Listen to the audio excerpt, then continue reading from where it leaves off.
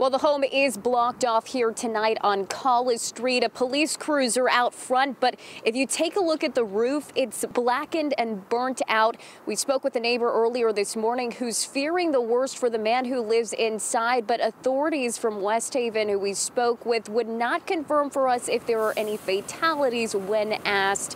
They do say, though, that the fire is still under investigation.